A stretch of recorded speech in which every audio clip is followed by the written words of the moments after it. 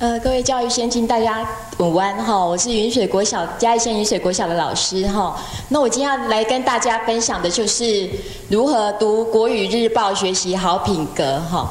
那我之所以会来跟大家分享这个如何读国语日报学习好品格，是因为诶五月份那个国语日报一个问卷哈，那它有那个问卷调查，那其中一样我觉得我有写上说，我觉得那用国语日报来带品格，我觉得收益良多。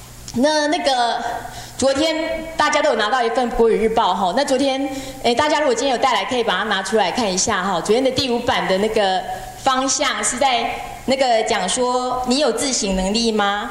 好，那这一篇也是一个可以带那个品格教育的好文章哈。要是我我我也会把它拿来运用。那我就把这些我之前用过的文章啊，哈，当然不止这些，还有更多，我就把它套用在。那个品格英语学院他们的那个哎教小朋友的部分，那我就发现哎，他的很多的面向，我用方向的文章去带，我每一个都可以带到，哦，我就发现嗯，那真真的是很好用。你有自省能力吗？这一篇文章，那我就会跟孩子讨论一下。那我觉得这张这篇文章的重点就是说，孩子、老师、父母都应该要有自省能力。好，那今天有自省能力的人。他在处理事情的话，好，就就比较容易做对的事，那也比较有容易有让自己那个改过的机会。好，那我会跟孩子一起讨论，哎，这篇文章的重点在讲什么，然后再来跟孩子经验分享。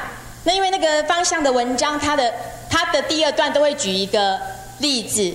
那我跟孩子分享的时候呢，如果我今天分举那个他举的是别人的例子。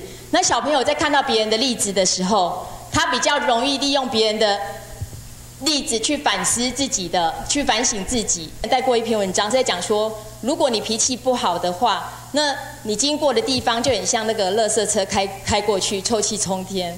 好，那慢慢的去去引导他之后，他现在也哎脾气也改善了很多。好，那以前在那个上数学课的时候，如果他有错误，我请他订正，可能。第一次还给他的时候，他的脸色是很难看的；第二次可能就脸色就更难看；第二次、第三次可能就哭出来了。好，那接接经过那个这些文章的教导之后，他也哎情绪变得稳稳定了，挫折忍受力也越来越高，然后数学成绩也越来越进步。哈，那这是我收到的效果。然后第二个，我为什么会说明辨是非、正向思考？因为第二个我们班另外一个比较特殊的孩子，哈，是。他比较冲动，比较容易犯错的孩子。那我去家访的时候，家长曾经跟我那个聊说，他最是那个每次去幼稚园哈，小朋友在读幼稚园的时候，每次去幼稚园接小朋友的时候，最常发现一件发生的一件事就是，他一刚一踩进幼稚园的门口呢，其他小朋友就围上来了，围上来要做什么？开始打小报告哈，就一群小朋友就围上来哈，那个。陆中安爸爸，我跟你说，陆中安今天又犯了什么错？然后就每次那个上演的就是去接小朋友，然后踩到踩到校门园的门口，那小朋友就一哄而上，然后开始怎样怎样，开始说说这个小朋友今天犯了什么错误哈。那我在带领那个方向的文章的时候呢，哎，同学知道这个小朋友容易犯错，那他这个小朋友犯错的时候，他也会小声的提醒他，因为那个这个小朋友他被。大家一直一直跟老师说他的错误之后，他后来也很反感，所以呢，他在家跟姐姐吵架的时候，姐姐去跟爸爸讲说他有什么犯了什么小错误的时候，那那个小男生就很生气，说要拿刀杀他姐姐。所以，哎，我从这这个事情我就知道，他其实已经到了，就是他已经很反感人家对他打小报告这件事情。好，所以我是教导同学说，哎，小声轻声的提醒他。那我在带领之后呢？哎，这个小朋友他本来是比较冲动的，也比较调皮的，他比较没办法控制自己。可是带了方向的文章之后，我发现他犯错的几几率变少了。以前可能是，哎，我们都是从班级走到餐厅去吃用午餐。那可能我第四节课上完五分钟没看到小朋友，因为他们排队到餐厅用餐。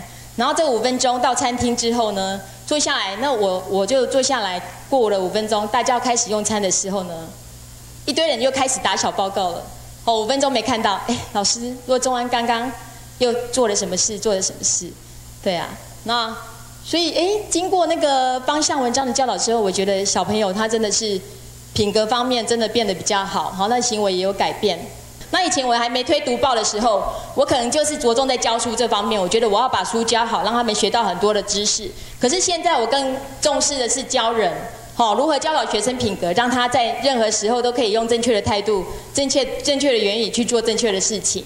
好，那最后一个我要强调的是，哎，孩子一定会有错误，那我们要怎么学习接纳孩子的错误，引导孩子走出困境？那我的引导方式就是用那个国语日报的文章来带那个。带学生带好好品格，好，我今天的分享就到此结束，谢谢大家。